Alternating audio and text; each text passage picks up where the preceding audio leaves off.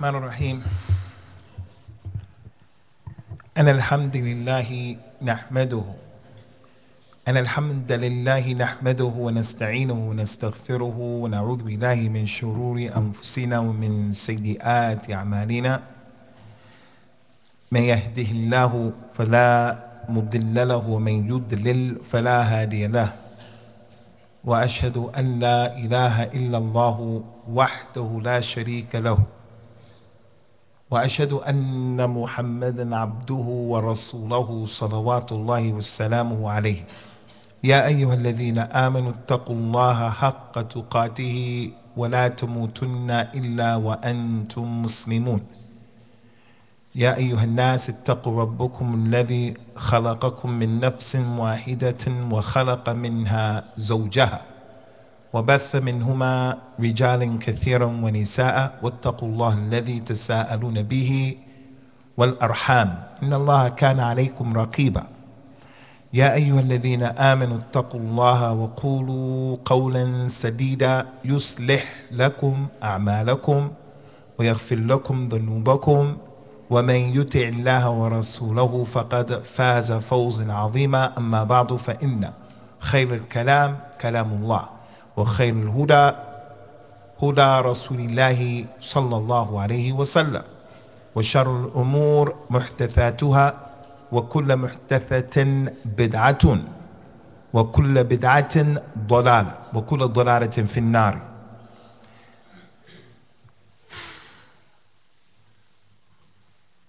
Today we had a pretty busy schedule, Juani traveling. Uh, some of our students, we traveled together for a Dawa trip to Manchester. And we came back and we had to do a Q&A session for the Ask the Imam session. Some very interesting questions that came to us today from the community.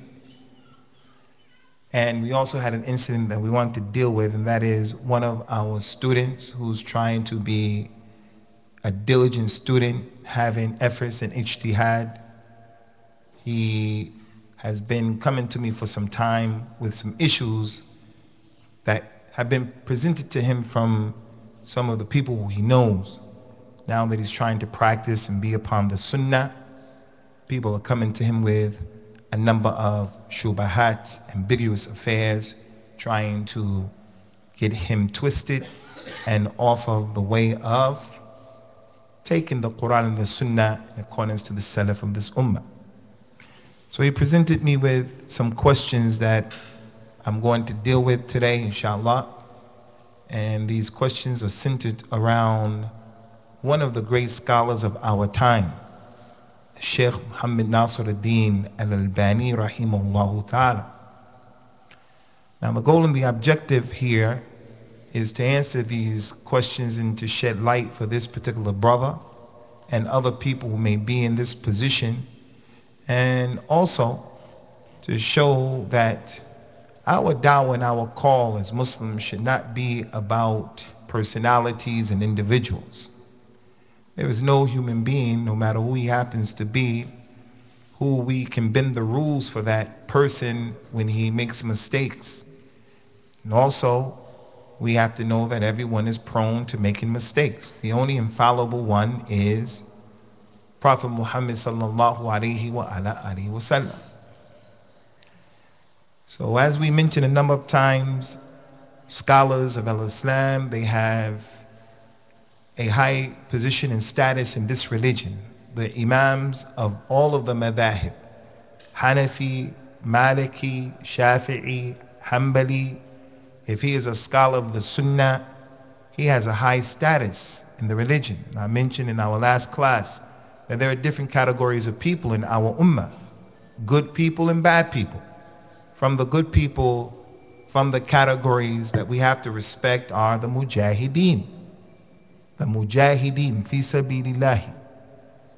We're not going to apologize to non Muslims. We're not going to apologize to weak, cowardly Muslims about this aspect of our religion. The mujahideen have a position in the dunya and the hereafter unlike other people. Their women have a position, their families, unlike other people. It is established in the Quran and the Sunnah. From those people as well are the ulama. And the scholars of Islam, Ikhwani, their position is higher and better than the position of the mujahideen. Allah Ta'ala has commanded us to be connected to the scholars of this religion. And whenever we start to take knowledge from people who are not scholars and we turn away from the ulama, then it is a sign of destruction and being astray. It's a sign of destruction and it's a sign of being astray. We've learned this already from some of what Al-Imam Al-Barbahari has mentioned. Issues have come up where he has advised the community with these issues.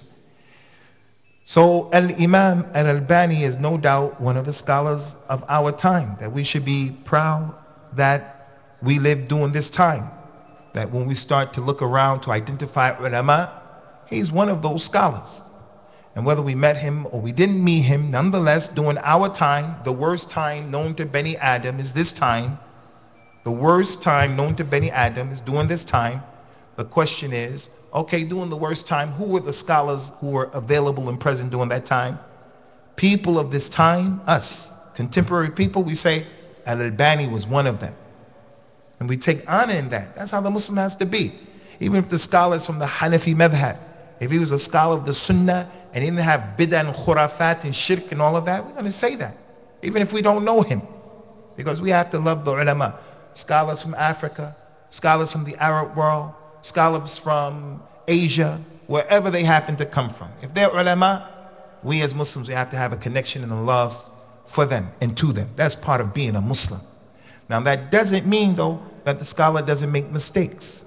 But it does mean even when he makes a mistake because of his tremendous position that he occupies, even when he makes a mistake, unlike me and unlike you, he still gets a reward because of that serious position that he occupies. So if you want to know if a person's astray, just ask him, what do you think about the scholars? If he says there are no scholars, then no, he's on dalala. He's miskeen. He's in trouble. He's in trouble. So we found recently in these last days some crazy things being said. People are going overboard, and our brother, who they said they murdered the other day, people are praising him, and then other people are disparaging him. And I found some people saying that this man is the Imam of the Mujahideen and he's in Jannah and so forth and so on. And when you ask them, what scholar said that? What scholar took that position? What scholar said what you're saying? They say there are no ulama, there are no scholars. Is it possible is it possible that everybody here, inshallah, we want to be from the saved group that Allah, Prophet, His Prophet taught us, told us about? The Firqat al-Najiyah, there will always be a group of people from this ummah on the truth, on the haqq. They'll be victorious. It won't harm them, those who go against them. They'll always be on the truth. Everyone here is, wants to be from that group. Everyone here. Is it possible you and I can be from this group and that group doesn't have scholars, is void of scholars? And we have young people who think and understand this way. That I'm from the Firqat Najiyah. I love Islam. I want Islam. I want the izz of Islam. I don't like kufr. I don't like apologizing. I don't want this thing that these people are trying to shove down our throat. I'm going to fight them back. We have people who are like that. But I'm on it by myself, me and my friends. Scholars are not with us. No, if anyone's going to be on the truth, it's going to be the scholars of Al-Islam. So the scholars, they make mistakes, but even when they make mistakes, they still get a reward. They still get a reward. Now, first thing that I want to tell my brother Uwais al-Qarani, Uwais al-Qarani, this is his issue, Uwais al-Qarani, and you other brothers, don't spend time and don't waste time with issues like this. You're practicing, you're trying to be a student, don't waste your time with these types of issues. People want to argue and debate with you all the time you have bigger fish, fish to fry. You have some big fish to fry. And these issues are distraction. And a lot of times, the people who you're talking to, a lot of times, they don't want to hear the truth. A person like Al-Albani, the people are polarized concerning him many times. You have the people who extremely hate him, and you see the way they understood what he said. And then you have the other people who love him extremely. And that's also unacceptable if I don't take his position, if I don't agree with his position, then you get upset with me? No. Have to be in the middle. Have to be in the middle. So we want to deal with these 10 questions that Brother Uwais al-Qarani brought to us. And there's a far-reaching implication here. It's not just these issues that we're trying to get through and to get to. It's showing you brothers how we have to be with these types of issues and with the ulama and with one another even. The first issue that these people bring in their criticism of Al-Albani is that he prevents women from wearing gold jewelry. Just like that, the question came to me. He prevents women from wearing gold jewelry. It's not Al-Albani's position to prevent women from something that Allah has allowed. It's not his ability or anyone else's ability. قل من حرم زينة الله التي أخرج لعباده والطيبات من الرزق قل هي للذين آمنوا في الحياة الدنيا خالصة يوم القيامة Say to them, Ya Muhammad, who is it that will make haram on the people the good things that Allah has made halal for them? Tell them that these good things are for His servants, everybody in the dunya. And Yom Al Qiyamah, they're just for the believers. So you can't come and you can't make Pepsi Cola haram, Coca Cola haram. Why is it haram? Because Jews, they manufacture these. You can't do that. You can't do that on the people. You can't make Gucci jeans haram. You can't make the designer shades haram. Why is it haram? It's resembling the kuffar. You, you can't do that. Kuffar Quraysh used to do that. They used to make halal and haram as they wanted, to, as they saw fit. They would make certain foods haram for their women, certain things haram for the slaves, certain things haram for the non-Arabs, certain things haram for everyone who wasn't Quraysh. And Allah mentioned ayat. Don't do that. Halal and haram is only for Allah.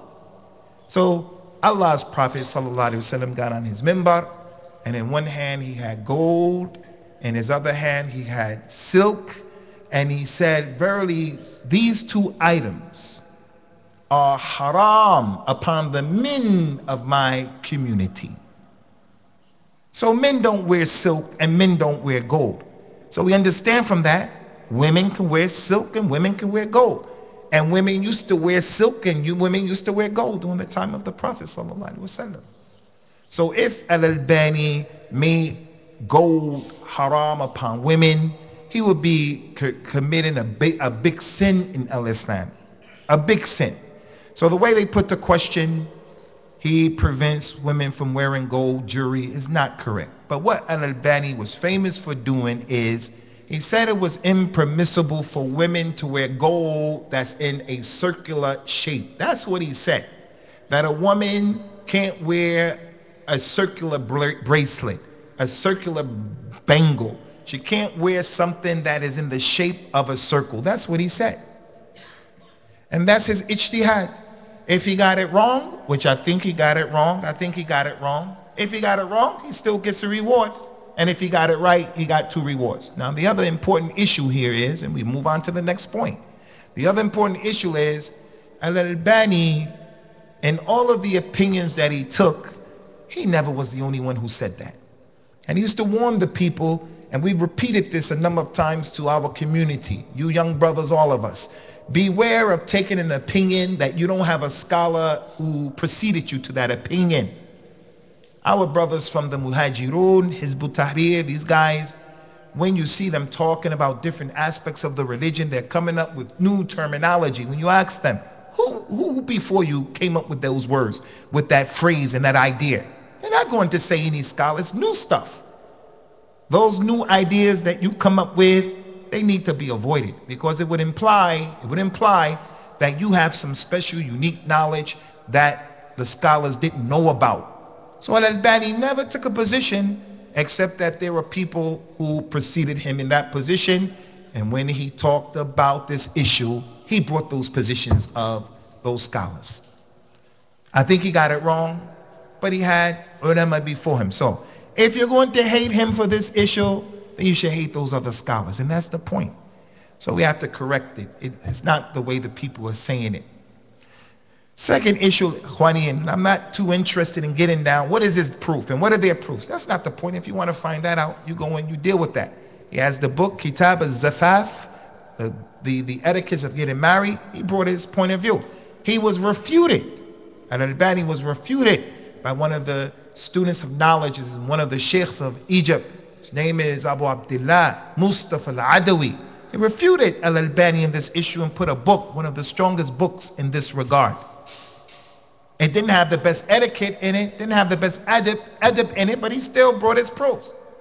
Another student of knowledge, younger than Al-Albani, Murad Shukri, went and debated Al-Albani in this issue. In the famous tape, they were debating about the issue. They don't accept that. You don't have to accept that. But to lie and to misconstrue is not fair. And number two, and number two, if we were people who had a minhaj in our knowledge, we would know that man was preceded in this particular issue as he was in all issues. Second issue the brother brought from his friends, relatives, whoever they happen to be, is that Al Albani prohibits people from fasting on Saturday. He prohibits people from fasting on Saturday. Again, this is a point where he has proof. And I agree with this proof of his. The Prophet, sallallahu alaihi wasallam, not Al Albani, he says, sallallahu alaihi wasallam, لا تصوموا يوم السبت إلا ما افترض عليكم. Don't fast on Saturday except in what is wajib upon you. So Saturdays in Ramadan, fast. If you miss days in Ramadan and then outside of Ramadan you want to make up your days and it's Saturday, fast. You took an oath, I'm going to fast this day, that day, and it's Saturday, fast. No problem. No problem. If you killed someone, hashalillah, you made the hard, you swore, you told your wife you like my mother's back, you did something where you have to fast, no problem. Saturday comes, fast because it's wajib upon you now. But if the day of Ashura is on Saturday, if the day of Arafat is on Saturday, don't fast. People, they find it very difficult. How are we going to let Ashura pass? How are we going to let Arafat fast and all of the virtues in that? There's a hadith that said don't do that. There's a hadith. Now, not all scholars agree with that point of view. Some of the scholars said, listen, the Prophet ﷺ allowed us to fast on Saturday. In that, he said, don't fast on Friday unless you fast the day before, Thursday and Friday. If you want to fast Friday, you have to fast Thursday and Friday or Friday and Saturday. But you just can't wait and fast Friday because the prophet said, don't do it. There's no difference. He said, don't fast on Saturday. Somebody says, but what about a person who wants to fast on Friday? Now he can fast on Saturday. Okay. Since there are prohibitions that say don't fast on Friday by itself, if you don't fast Thursday and you fast Friday, Saturday is wajib upon you now to fast. So it's his point of view, it has his dalil. Why does a person criticize a Muslim for such an issue. Why? Because it's not fair. It's the polarization that we have in regards to personalities. Don't go overboard in your love for people. Don't go overboard in your hatred for people. Why would a Muslim be, be criticized for that position? If you came and you proved this hadith is weak because of A, B, C, D, no problem. He says it's authentic. I say that it's authentic. We have bigger fish to fry now. The third point for our brother Uwais al-Qarani and the people who came to him is that Al-Albani prohibited people from making i'tikaf in any masjid except one of the three masjids. The only place you can make i'tikaf is one of the three masjids. But in the month of Ramadan, you can't make i'tikaf in Green Lane, you can't make i'tikaf in Masjid al-Rahma, you can't make i'tikaf in Central Mosque, you can't make i'tikaf in Masjid Quba, in Medina, and so forth and so on. Again, he has a hadith that says that. Some people agree that the hadith is authentic. He said that the hadith is authentic. Others said that it is weak. So he has a dalil. He has a proof. And if a person, if a person makes his position based upon a proof, even if that proof turned out to be wrong and he went about it the correct way, you can't blame him. Especially if he's a mujtahid whether he's Hanafi, Maliki, Shafi, or Hanbali is irrelevant. If he came to that conclusion based upon a minhaj that is knowledge based, you cannot blame him. You have to respect that. He tried. That's why he's a scholar. Even the regular person, the regular person is trying to do the right thing. He doesn't like innovation. He doesn't like shirk. He doesn't like hocus pocus. He's trying. He arrives to a conclusion based upon efforts and sincerity. He made efforts and he was wrong. He's a human being. You can't say he's a deviant. You can't say he hates Islam. You can't say he's an enemy of the truth. You can't say he's weird. You can't say that. What about the scholars? Even it's even worse. So there is a hadith that the Prophet sallallahu he said, "La itikafa." There's no itikaf except in the three masajid. That's an authentic hadith. So authentic.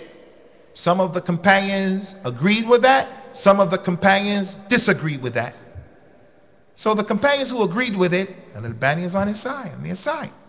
Those who don't agree with that, you're on their side. Why the hatred? Because it has something to do with desires. It has something to do with not Al-Albani and the fact that the issue is right or wrong. It has everything to do with his minhaj, a salafiyah, and a sunnah. This person's way is taqleed. His way is closing his eyes. The sheikh, his sheikh said, only his sheikh.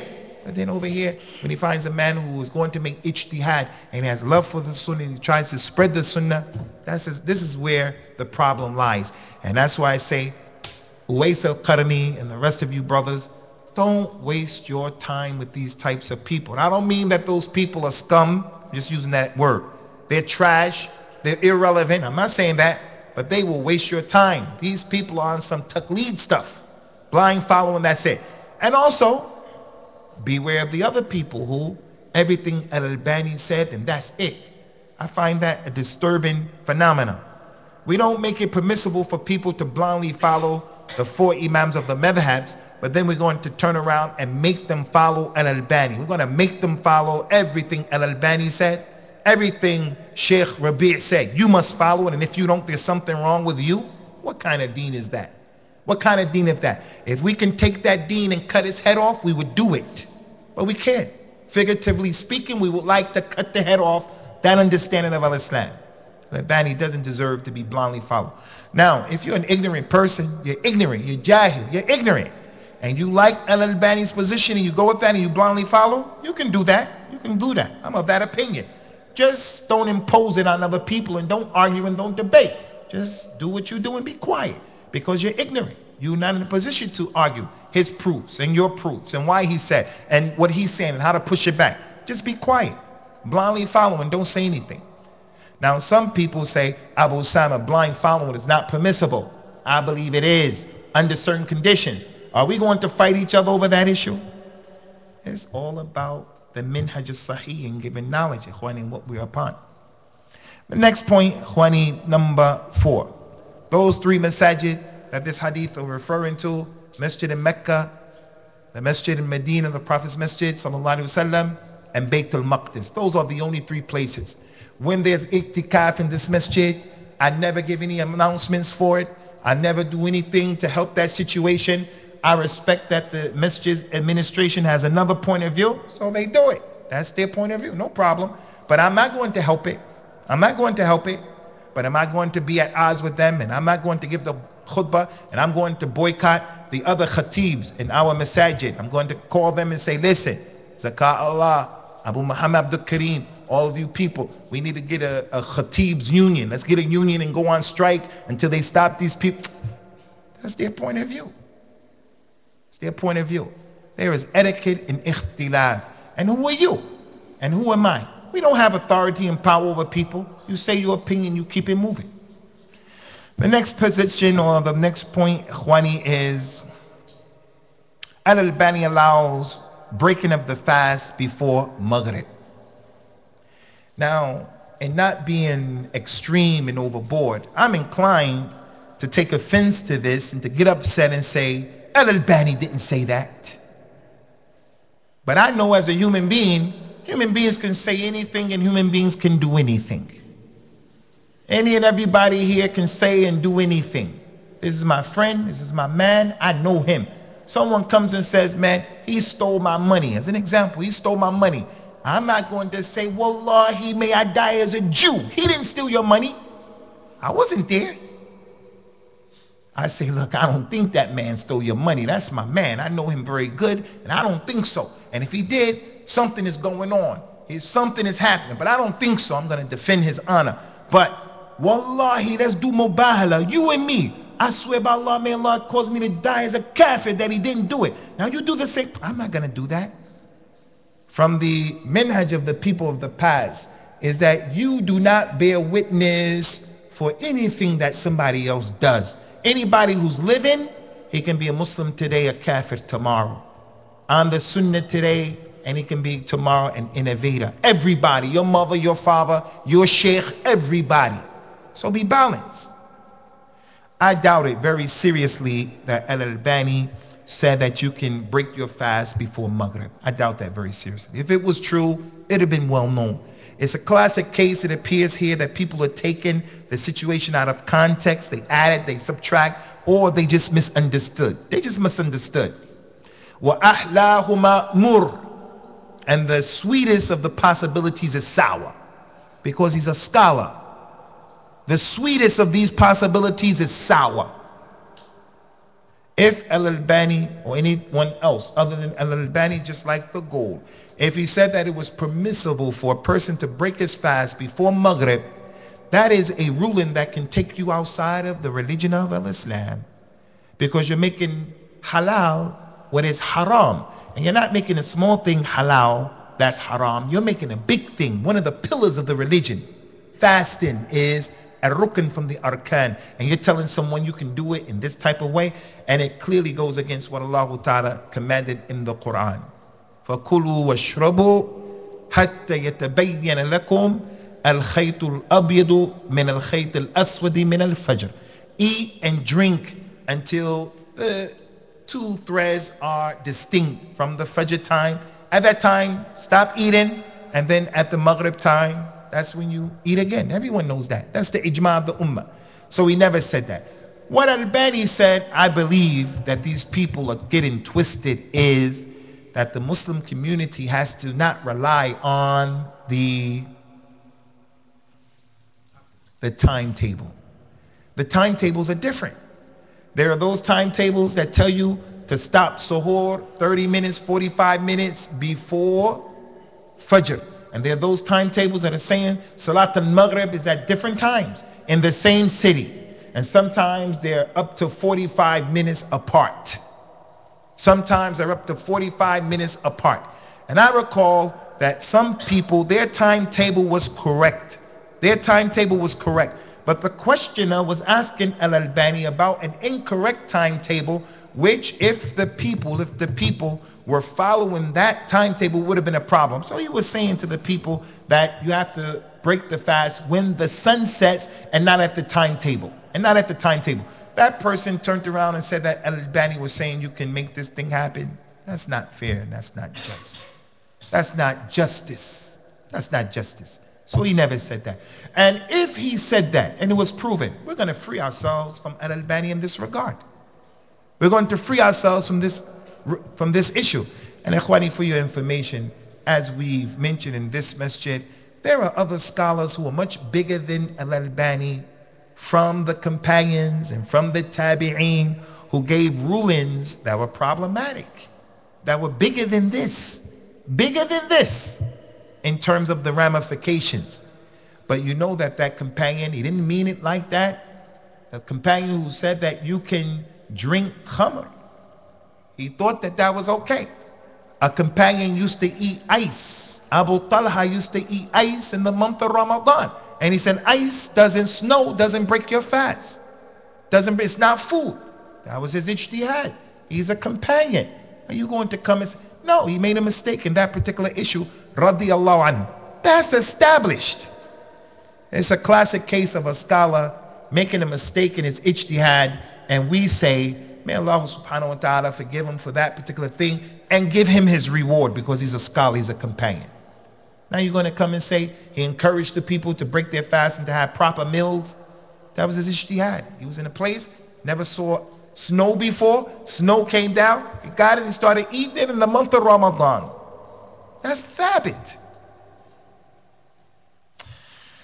For our brother Uwais al-Qarni, Ikhwani is the fifth point, or the, yeah, the fifth point. Al-Albani allowed people to eat after dawn in the morning for the one who is fasting. Yes, he did do that. He did it because the Prophet allowed this, sallallahu alaihi wasallam. Prophet told us, sallallahu alaihi wasallam, إذا سمع أحدكم النداء والإناء في يده فلا يدعه حتى يقضي حاجته. If one of you in the month of Ramadan or when you're going to fast, the Prophet said, if you're sitting there and you're eating, and the adhan goes off and you have the cup in your hand and you're drinking and the adhan goes off. He said, don't put that cup down until you finish. Don't put that cup down until you finish. Because it wasn't your goal, it wasn't your objective to eat and drink at this particular time. You woke up late today, but you started eating your porridge, you started drinking your tea, and then the adhan went off. Your clock in your house, you started hearing the adhan, the adhan outside started to go off. The Prophet allowed you, sallallahu alaihi wasallam, to continue to drink and to eat what you have. Provided it's not a lot, it's not a full course meal. You have that food there before you and you still have some eggs left over and the adhan went off, you can continue to eat and not worry. And not worry. And similar to it is what the companions used to do at Maghrib time. They would start to break their fast at Maghrib in their house and they would start the salat and the companion would sit and calmly continue to eat his food and miss a rak'ah and miss a second rak'ah and then go and calmly go to the masjid because he had a reason to do what had happened. When you don't have fiqh, you, you find these things hard to understand. That's the ease that Allah gave us. Some people, Ikhwani, when your religion is the madhab, the religion is the madhab. That's it. It's just the madhab. When people hear these things, even though the companions did it and other scholars, many of them, even some from their madhab, agree with it, they find it very difficult to understand, to accept. It's just amazing. What? The adhan of Fajr is going off and you're still eating? And you believe that's permissible? You are a murtad. You've apostated from the religion. No one in his right mind Yahi, relax. Relax. I went to my class in London on Thursday, and it's my best class because it's Masjid the Sunnah, they're Somalis. About 30 of them memorize the Quran, and they're really serious students. At the Adhan time, many of them fast on Thursdays and they have their food on the side. And one brother, he went out and he brought some food. He didn't eat with the Jamaat. He was in the office with me. He was eating his burger and his fries and the adhan went off and he was eating very quickly, just eating very quickly. You're not enjoying your food like that. You're not enjoying your food like that. And Allah doesn't want that from you. The Prophet told us, wasallam, the person who has to go to the bathroom, he has to go to the toilet, akramakumullah, has to relieve himself. Urine other than that. Don't hold that in and pray like that. Don't hold that in. Because while you're praying, that's what you're thinking about. You're not into the salah. He also said, don't, if the food comes, sit down and eat it. And the people are praying. Sit down and eat at your leisure and take your time. You don't have to gobble the food up. Allah doesn't want that from you. Allah wants you to pray to Him and you are thinking about what you're doing. And He gave you this rukhsa. And He loves when you take advantage of the rukhsa. He loves it when you don't fast and you're traveling. He loves it when you combine your prayer and you, you're tra- He loves it. You have a reason to sit there. He loves it when it's raining and you don't come to the masjid. Allah loves that just as He hates it when you do something haram. He hates when you do haram. And He loves it when you take from Him His sadaqah that He gave to you. Don't make it difficult. Don't make it difficult. So, concerning this issue, there is a hadith that allows you to do this. And that's the fiqh that we love, the fiqh of the sunnah. And it is true, Ikhwani, and we have to mention this. On one extreme are the people who are rigid on the madhab and taqleed. And on the other extreme are the people who take these issues and they make their religion strange as well. They make their religion strange as well. I wouldn't advise, I wouldn't advise. From the sunnah is when we're praying the salah and the imam goes into ruku', you come into the door and the people are in ruku'. You come into that door. The Prophet allowed you to say Allahu Akbar and then go into ruku' and walk and you're in ruku'. And the people are in ruku' and you're walking in ruku'. Do I look funny doing this? And then when they come up, you come up. And by the time they go into sajda, you'll be in the line and then you go into sajda. And you have caught that rak'ah. It happened with the companions. And then when the man who did it with Abdullah ibn Mas'ud, when he did it with him, that man got ready to get up after Salat was done. He got ready to get up to complete the one he thought he missed. Abdullah ibn Umar, Abdullah ibn Mas'ud pulled them down and said, You have the rak'ah. This is what the Prophet allowed us to do. But I wouldn't advise you to do that in a masjid of taqleed. I would advise you to do that with people who don't know fiqh because it's going to be a fitna for them. So these issues we have to take into consideration the environment and the people that we're dealing with. So don't follow these issues. In doing these issues, you have to do it in a way taking into consideration your environment. Your environment. People don't know when shaitan comes to you that you turn to the left and you spit. People don't know that. People don't know that. So you have to be careful of when and where you do these types of things. So we don't come with a religion that people look at us as being strange. Two extremes. Those who reject and those who enjoy these types of things. Next one, number six, Khwani Al-Albani prohibits people from, from praying the Fard prayer for a person who missed it on purpose. The Asian people, they call it qaza. Arabic is qada. You know the prayers that you intentionally didn't pray. You were young, 18, 19, 20, and you didn't pray them ever. Or right now, we let the prayer come and it goes. The time comes and it goes. I'm going to make it up. And Albani was of the opinion you can't make that prayer up because there's no dalil to allow you to make a prayer that came and left. There's no dalil. There are proofs to allow you to make up fasting, to make up hajj, there are proofs for that. But for the salat, the one who lets the prayer come and go, there's no proof to allow you to do that. How did the Prophet ﷺ not address an issue like that? It doesn't exist. You shouldn't do it. That's his opinion, and that's the opinion of the majority of the ulama of al-Islam. And it actually is a preventive measure from people being lackadaisical in salat. If he feels he can let it go and make it up at any time, that's what he'll do. If he knew this is something you'll never get it back, that's something you'll never get it back, he'll have more eagerness to do it. There's no proof for it. No proof for it. So what do we do? If a person allowed the prayer to come in and it went out and he didn't pray it because of his job or something, he has to make tawbah to Allah for falling into the second biggest sin in Islam, abandoning prayer, bigger than murder. Bigger than murder from the Akbar al-Kaba'ir. He has to make tawbah to Allah Azza wa and then he has to make as many nawafil prayers as possible.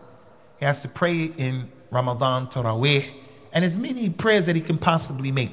As for qada, if you were to ask someone, bring me the dalil to make qada. Now, in all honesty and justice, there are some scholars who said, no, you can make qada, but they give you intellectual arguments intellectual arguments. They have their place in the deen, but not when it is in the absence of the dalil. So he's not by himself and he has a reason for saying that. Where's the justice? Where's the fairness? The other issue, Ikhwani, and we're going to speed this up a little bit, is that he allowed the woman who was on her menses to touch and to recite the Quran. Again, I repeat, Al-Albani was a scholar who didn't take a position that other scholars didn't precede him to.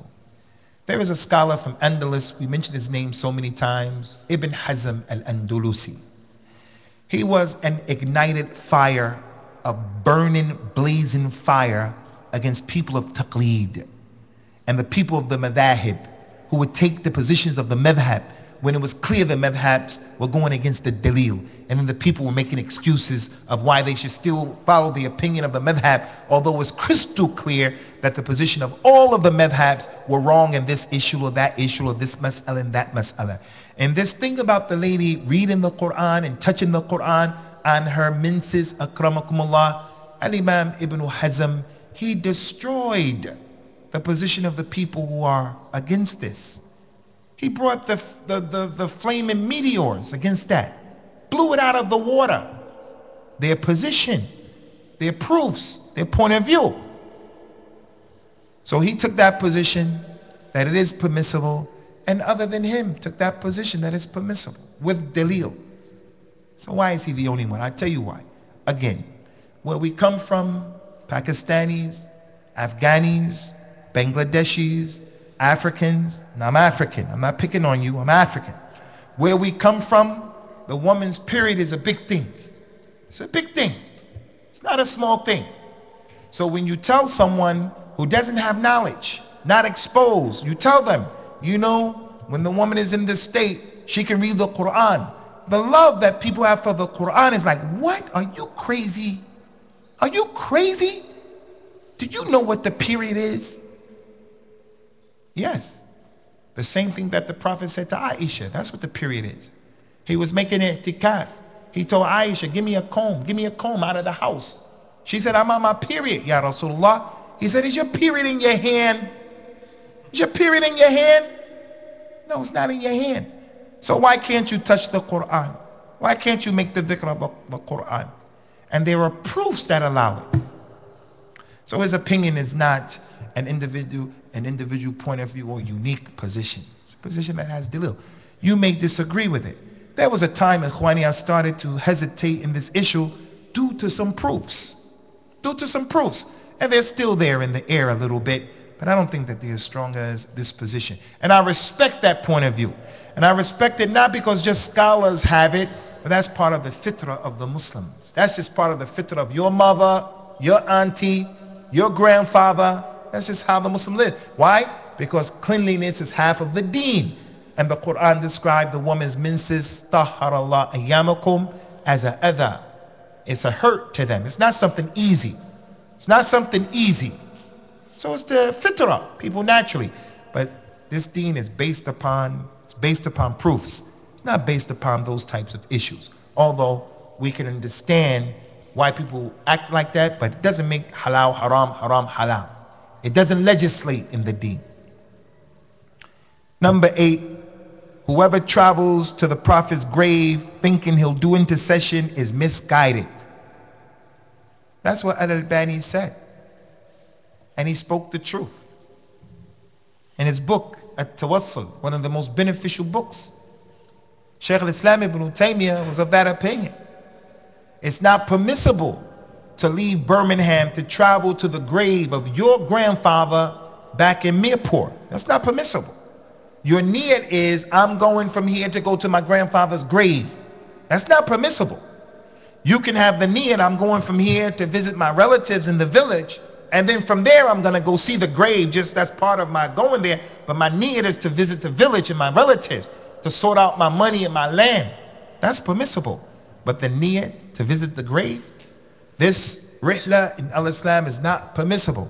Because of the hadith of the Nabi sallallahu alaihi wasallam, لا يشد الرحال إلا إلا إلا إلى ثلاثة ثلاثة مساجد. It's not permissible for you to make preparations to go on a trip with the intent of doing something like ibadah like this, except to one of the three masjids.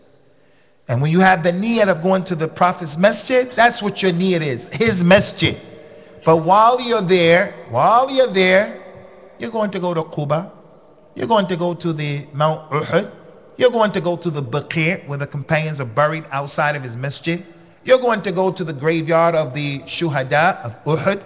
And you're going to obviously go to his masjid, to his grave as well, obviously. But if your niyyah is, I'm traveling from here to go see him, then that is misguidance. That is misguidance. And this misguidance, Ikhwani, has affected some of the people of the Sunnah in that now they are telling us if you go to Mecca and you don't visit Sheikh so and so, if you go to Medina and you don't visit Sheikh so and so, then your Salafi is in question. That's the kalam of the Sufis, Khwani. It's the kalam of the Sufis. You don't have to visit anyone's house in Mecca and Medina from the people of knowledge or other than that. You don't have to visit any grave. And you definitely don't have to go to Mount Hira where the Prophet used to go, sallallahu alaihi wasallam, and Iqra bismi rabbika alladhi khalaq came down. If you want to do that as a tourist, you just want to see, not getting close to Allah. You just want to see what happened. What did he go through? How was it? That's okay. But to climb the mountain and you get up there and you face the Qibla or the sun and you start making dua, there's no ibadah in that regard. No ibadah. We're almost done here. Number nine, whoever carries the dhikr bead, then he is misguided. Whoever carries the dhikr beads. I don't know, Ikhwani, if Al-Albani said that, that he's misguided. I know that he said using the dhikr beads is an innovation, but just because someone has dhikr beads, he's misguided. Then many of us are misguided because we'll see the dhikr bead on the mirror of someone's car we have position with them, one of our relatives. So we take the dhikr bead off and we keep it with us and we take it with us, we're misguided. Whoever carries the dhikr bead, I'm thinking that they're referring, whoever has the dhikr bead, then this is an innovation. Not everyone who does dhikr beads is misguided. And I believe this is correct. Although there are some scholars who took the other position. And Imam Suyuti wrote a book trying to defend the permissibility of the sibha. And his proofs are weak, his ahadith are weak, the positions are weak, but nonetheless, he's a scholar, had his ijtihad. As Sheikh Ibn Baz was of the opinion, if a person is old, if a person is old and he has problems counting and keeping up, and he wants to use one of those, you know, those number things, one, two, three, four, five, he said you can do that if he had every reason for it. If Al-Albani was saying, no, you shouldn't do it at all. It's from what the Christians have, it's from what Allah didn't legislate, and it's from what the Prophet dealt with, sallallahu wasallam. And it's what the deviants from this religion were doing when they used to make counting their dhikr with bees like that. So it seems like the haqq is with him. But again, he's not the first one to say it. Lastly, Khwani, lastly, Sheikh Al-Albani said that we should demolish the green dome that's over the Prophet's masjid and that we should take this off of his masjid. And this is where the brother has the biggest issue about all of this. The green dome that's over the Prophet's masjid sallallahu alaihi wasallam is like many of the other issues that have crept into his masjid the Arabic on the wall, the way that the thing is on the old portion of the masjid. Where we come from in America, you know, Puerto Ricans, Puerto Ricans come from like by Cuba down by Florida. When it comes to color coordination, they're very colorful. Like us Africans, we're very colorful. And thus we wear these colors like this, we're colorful. The Turkish people used to be like that. All of these colors and all of this opulence, glitter, catch the eye, make people look at the situation. So the Turkish people, they made the Prophet's masjid like that. They wrote Allah's names, they wrote ayat, they painted it, they did all of this stuff, and they beautified the masjid.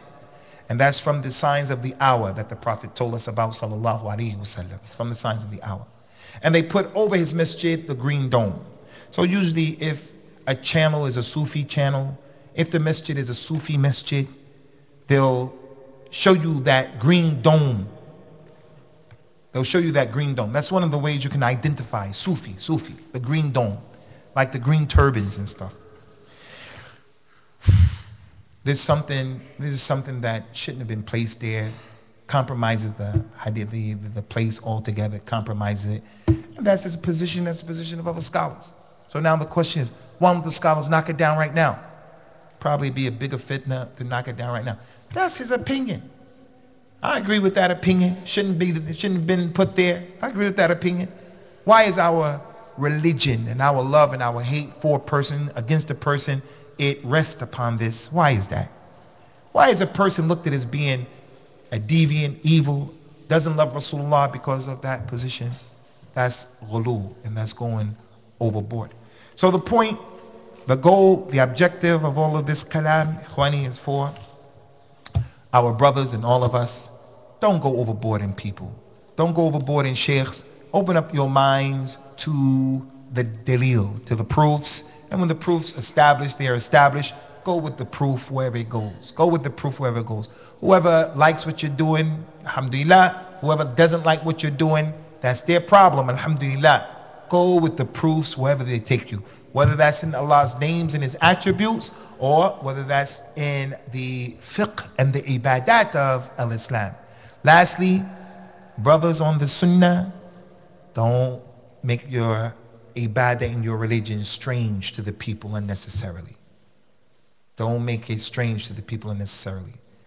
In our masjid, we have to take it easy, even in this masjid. You do the one taslim, assalamu alaikum. That used to cause problems in this masjid. Should never be a problem in a masjid of Ahlul Hadith. Never. Because you should be able to present the dalil to the people. The People see it, they say khalas. But it's not what we're used to. So if the people are not used to it, maybe better not to do it. But I think with young brothers instituting the sunnah, giving dawah to the sunnah, showing the people the sunnah, people come in who are guests, they're not aware of the sunnah, pulling to the side, being good examples for the people, it makes it that much easier for people to accept and to embrace. So what your grandfather didn't do this? So what your madhab doesn't do that? But I don't think we should do this with the goal and the objective of being people who are strange. And you're going to be strange anyway, because that's what the Prophet said about the ghuraba, sallallahu alayhi wa ala wasallam. So may Allah have mercy and bless Al-Imam Al-Albani and put him in the Jannah al-Firdaus along with the Prophet ﷺ, for verily he spread his sunnah and only Allah knows what is Al-Albani's ill result. And may Allah Ta'ala put us on the way of all of the ulama, the ulama of the sunnah, regardless of what madhab they were upon, provided that they were people of the sunnah. And those other scholars and the other Muslims, may Allah forgive us for our mistakes and our indiscretions. And may He subhanahu wa ta'ala take us by our forelocks and establish upon the kalima of at-tawheed and the haqq. We're going to stop here, Khwani, with no questions, inshallah ta'ala. And let me just see real quick. I need you to bear, bear, bear patient with me one minute because the people in the message were supposed to contact me. They didn't. Umar, they didn't contact me.